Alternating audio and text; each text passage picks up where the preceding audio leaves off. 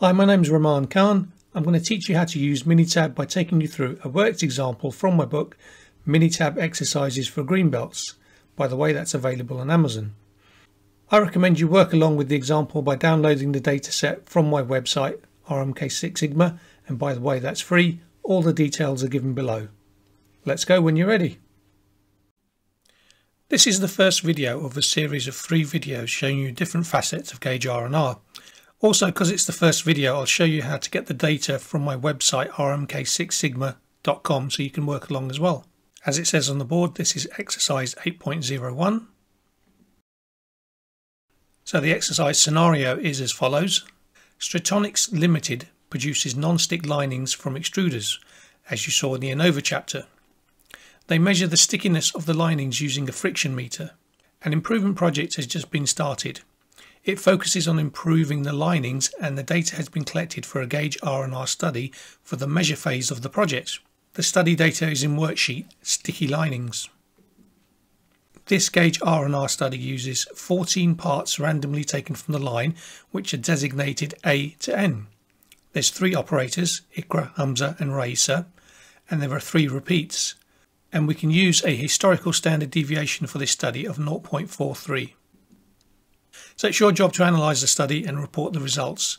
Your boss wants the following tasks done in the order shown below.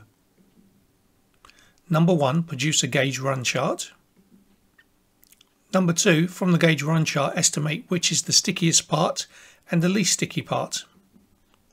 Number three, estimate from the gauge run chart which is greater, reproducibility or repeatability. Number four, run the gauge R&R routine using the assistant. What is the breakdown of the gauge variation? Number six, do any of the operators need more training? And number seven, are any of the operators having trouble with any particular part? And number eight, is the measurement system acceptable? If not, what are your insights to improve it? So as you can see, the question scenario has two parts. One to three relate to the gauge run chart, four to eight relate to the gauge R&R routine in the assistant. Right, let's see how to download the data now. So this is my Google Chrome home screen. I'm just going to go and search for RMK Six Sigma. As you can see, it's already there for me because it's my website and I go there a lot. So in my Google search, rmk6sigma.com is the first one that's listed, probably because I've been there quite often. And I just want to go to downloads. So click on that. Okay, and there you can see advertising for my new course. But if you go down, you'll go through the books that I have. And because we're going to be doing examples from the Minitab exercises for Greenbelts book, you need to click on that. And these particular examples relate to chapter 8, which is measurement system analysis. So just click on that and that should download the datasets. Okay, let's open that now. So here I've got Excel open and these are all the data sets for the different examples which are named along the bottom in different worksheets. As said in the example scenario, this one is for sticky linings. So let's click on that. And there's the data for the example. I usually click and cell A1, then press Control A to select everything, Control C to copy it, and then transfer that into Minitab. Okay, with the new worksheet open in Minitab, I just press Control V to paste the information in there. So here's the data loaded into Minitab. And as you can see, there are three columns of data and I've given each column a title that's designated to its function. So we have the parts, the operator, and the measurement. I find if you do that, it just makes it quicker to move through the menus. As we know, the first part of the question was to form the gauge run chart. So let's do that now. Click on Stat, Quality Tools, go down to Gauge Study, and there you'll find gauge run chart. Click on that. So as I've said before, it's going to be easier for you if you give your columns the names of their designations in terms of what of the data that they contain and what's listed in the menus for Minitab. So we have part goes into the part, operator goes into operators, and measurement for me goes into measurement data. I don't have to do anything else, just need to click OK to form the gauge run chart. So here's an enlarged view of our gauge run chart. And just to summarize what the gauge run chart is showing us, uh, let's quickly go through that now. So the parts are given across the x-axis. So here's A, B, C, D, E, F, G. So we've got two rows just because there's so many parts. Then we've got H to N on the bottom. On the y-axis, we've got the measurements with the mean being shown as the dashed line. So that's the mean of all measurements. And then we've got three colours, one for each of the operators. So Hamza is blue, Iqra is red, and Raisa is green. Hamza's blue, here's his three measurements of part A. Then there's Iqra's, then there's Raisa's. So for part A, we can say that Hamza was measuring the highest, then Iqra, then Raisa. But we don't know who's actually correct. Is it that Hamza's correct and the other two are measuring lower? Is it that Raisa's correct and the other two are measuring higher? Remember, from the measurement system, we don't have a, a reference value here. And if we look at Hamza's first measurement, okay, then the second one is slightly lower and the third one is slightly higher. So that's Hamza's repeatability. And as you know, reproducibility is the difference between operators. And here you can see the difference between the operators Hamza's highest, then Iqra, then Raisa. Okay, so now our first task is from the gauge run chart, estimate which is the stickiest part and the least sticky part. That was task number two. Okay, so I'm assuming that because this is a friction measurement, if you have high friction, then the pan is stickier. And if you have low friction, the pan is less sticky. Okay, so we want to compare the part with the highest measurements to the part with the lowest measurements. Looking at them, which one would I say was the highest? I'd have to say it's between L and F. So either one of those is the stickiest part. Right, let's have a look for the least sticky part now. So we're looking at the, the lowest values. Well, H looks quite low. However, when we look at B, that's got the similar kind of levels to H for Hamza and Iqra, but Raisa's measurements of part B are quite low. So that would probably drag the overall average down. So I'd say part B is the one with the least amount of friction. So the least sticky. So part three now, estimate from the gauge run chart which is greater, reproducibility or repeatability. So as I said before, repeatability is within measurements. So we can see a bit of variation for Hamza there, a bit for Iqra and a bit for Raisa. Is that within variation greater or, or is variation across the operators greater? I would say looking at the trends, there's more variation between operators than there is within operator because it doesn't look so bad. Occasionally Hamza has a, a high value of repeatability, but it's not as bad as these kind of ones where we can see a downward trend across Hamza, Iqra and Raisa.